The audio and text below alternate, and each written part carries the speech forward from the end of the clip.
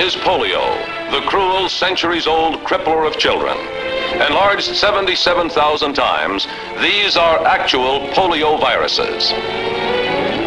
Now to the University of Michigan campus in Ann Arbor come hundreds of scientists hoping to hear the words that will signal the end of polio's long and ruthless reign of terror. The medical men is Dr. Jonas Salk, whose polio vaccine has been tested and carefully evaluated. Copies of the official findings are wheeled in as Dr. Salk talks with his family on what is to be his day of magnificent achievement. Reporters press forward to get the results the whole world is waiting for, rushing to their typewriters to spread the momentous news. Inside the meeting hall, Dr. Salk and Dr. Thomas Francis, director of the year-long study of the vaccine, mark time, awaiting the arrival of the report. The room is electric with expectancy. Then the historic announcement. The vaccine works. It is safe, effective, and potent. The tests prove it up to 90% effective in preventing paralytic polio. And someday, says Dr. Salk, the vaccine may completely eradicate the menace of polio.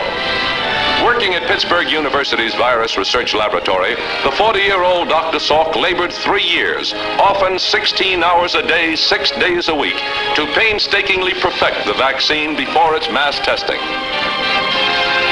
The serum contains poliovirus, which, although killed, still has power to stimulate the body into producing millions of protective antibodies in the bloodstream, building a wall between children and paralytic polio. Production of the virus vaccine was difficult, limiting last year's experiment. Even so, it was the largest such medical test ever attempted.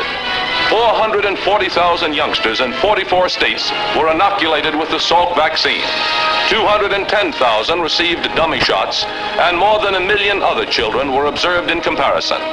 Not a single child who completed the Salk vaccinations died of paralytic polio. Already in full-scale manufacture, laboratories have turned out enough of the precious serum for 30 million and possibly even more children this year.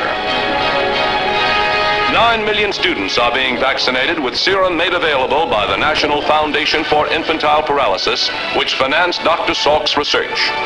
Though some of the youngsters are apprehensive, they learn when their turn comes that the vaccination hardly hurts at all mankind, through the genius of Jonas Salk, receives a great gift victory over polio.